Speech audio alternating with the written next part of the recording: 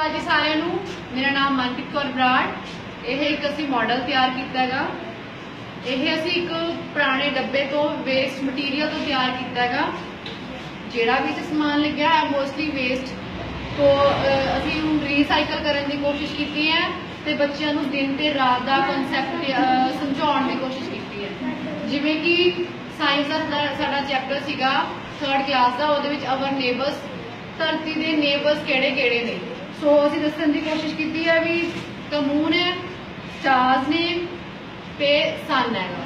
ਸੋ ਜਿਹੜੇ ਦੋ ਪਲੈਨਟਸ ਨੇ ਹਜੀ ਅਸੀਂ ਉਹ ਨਹੀਂ ਕਰਵਾਏ ਬੱਚਿਆਂ ਨੂੰ ਮੇਨ ਜਿਹੜੇ ਨੇਬਰਸ ਨੇ ਉਹਨਾਂ ਬਾਰੇ ਦੱਸਿਆ ਹੈਗਾ। ਉਸ ਤੋਂ ਬਾਅਦ ਅਸੀਂ ਨੇ ਇਹ ਦੱਸਿਆਗਾ ਵੀ ਜਿਹੜਾ ਹਿੱਸਾ ਧਰਤੀ ਦਾ ਘੁੰਮਣ ਤੋਂ ਬਾਅਦ ਸੂਰਜ ਵਾਲੇ ਪਾਸੇ ਆ ਜਾਂਦਾ ਹੈ, ਉਧਰ ਕੀ ਹੋ ਜਾਂਦਾ ਹੈ ਦਿਨ ਹੋ ਜਾਂਦਾ ਹੈ ਜਿਹੜਾ ਹਿੱਸਾ ਘੁੰਮ ਧਰਤੀ ਤੋਂ ਸੂਰਜ ਤੋਂ ਦੂਸਰੇ ਪਾਸੇ ਚਲਾ ਜਾਂਦਾ ਹੈ, ਜਾਂ ਫਿਰ ਜਿੱਧਰਲੇ ਪਾਸੇ ਸੂਰਜ ਦੀ ਰੋਸ਼ਨੀ ਨਹੀਂ ਪਹੁੰਚਦੀ, ਉਧਰ ਕੀ ਹੋ ਜਾਂਦੀ ਹੈ, ਰਾਤ ਹੋ ਜਾਂਦੀ ਹੈ। ਸੋ ਇਸ ਤਰ੍ਹਾਂ ਇਹ ਧਰਤੀ ਦਾ ਚੱਕਰ ਕੀ ਹੈ, ਚੱਲਦਾ ਰਹਿੰਦਾ ਹੈ, ਜਿਹਦੇ ਨਾਲ ਕਿ ਦਿਨ ਤੇ ਰਾਤ ਬਣਦੇ ਨੇ। ਜਿਹੜਾ ਹਿੱਸਾ ਸੂਰਜ ਦਾ ਸੌਰੀ ਜਿਹੜਾ ਹਿੱਸਾ ਧਰਤੀ ਦਾ ਸੂਰਜ ਵਾਲੇ ਕੰਟੈਕਟ 'ਚ ਆ ਜਾਂਦਾ ਹੈ ਜਿੱਦਾਂ ਸੂਰਜ ਦੀ ਰੋਸ਼ਨੀ ਪੈਣ ਲੱਗ ਜਾਂਦੀ ਹੈ, ਉਧਰ ਕੀ ਹੋ ਜਾਂਦਾ, ਦਿਨ ਹੋ ਜਾਂਦਾ ਹੈ।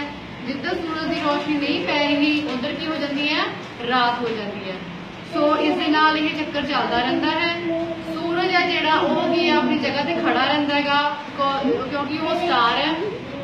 ਤੇ ਜਿਹੜਾ ਮੂਨ ਹੈਗਾ, ਉਹ ਧਰਤੀ ਦੇ ਦੁਆਲੇ ਘੁੰਮਦਾ ਹੈਗਾ, ਕਿਉਂਕਿ ਮੂਨ ਹੈਗਾ, ਉਹ ਧਰਤੀ ਦਾ ਕੁਦਰਤੀ ਉਪਗ੍ਰਹਿ ਹੈ ਨੈਚੁਰਲ ਸੈਟਲਾਈਟ ਹੈ।